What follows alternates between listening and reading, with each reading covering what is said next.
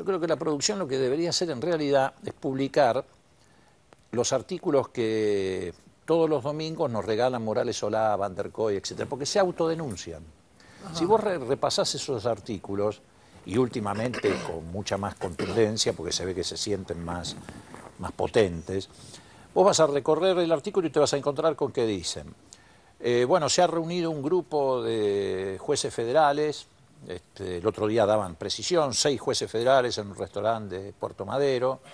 ahí acordaron llevar adelante una ofensiva este, contra el Poder Ejecutivo,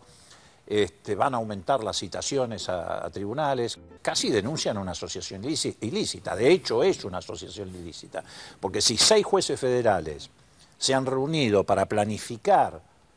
cómo van a atacar al Poder Ejecutivo, a los funcionarios, etcétera, etcétera, están cometiendo un delito asociados en un número mayor a tres personas, es una asociación ilícita. Morales Solano este domingo, sino el domingo anterior, dice que un juez federal estaba mirando desde las ventanas de Comodoro Pi al horizonte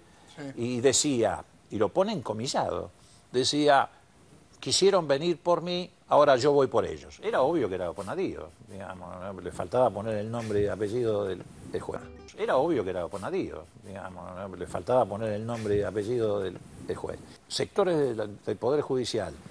y sectores de, o mejor dicho, los grupos hegemónicos han establecido una alianza para llevar adelante este proceso, que no apunta exclusivamente contra el gobierno, apunta contra la política.